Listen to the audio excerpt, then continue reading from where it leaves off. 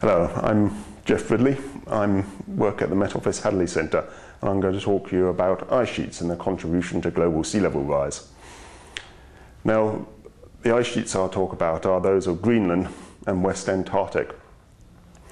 Ice sheets in general are dome shaped and high in the middle and at the edge they, they flow down, the ice at the middle flows down towards the coast and ent enters the ocean as glaciers. In winter, snow falls on the ice sheet and the, the mass of ice increases. But in summer, the ice melts. So the, the net change in the ice sheet defines the mass balance. Now, if more melts in summer, then the mass balance becomes negative and the ice sheet loses mass. That means the oceans gain mass and sea level rises. But if the ice sheet loses mass, then the, the height of the ice sheet will slowly decline because ice flows from the center to the edges all the time. And once the ice sheet is declining in height, then it goes into warmer air and more will melt and it will decline faster. This means that the ice sheet has become irreversibly in decline. Now, even if the climate stabilizes, it will still melt away to nothing. Ocean temperatures can also affect the retreat of the ice sheets.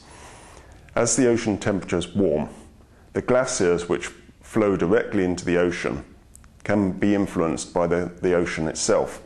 The ocean melts the glaciers underneath and they tend to flow faster, draining more ice from the ice sheets into the ocean. Now, in Greenland, the uh, ice streams, the glaciers which drain the ice sheet into the ocean, can retreat and they can, will eventually no longer be in the ocean. And so they, they stop speeding up. They slow down again.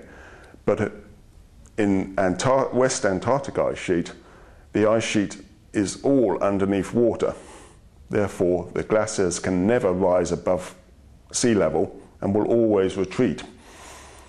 So there is a potential that the entire West Antarctic ice sheet, 3.3 meters of sea level rise equivalent, will drain away and float off into the ocean.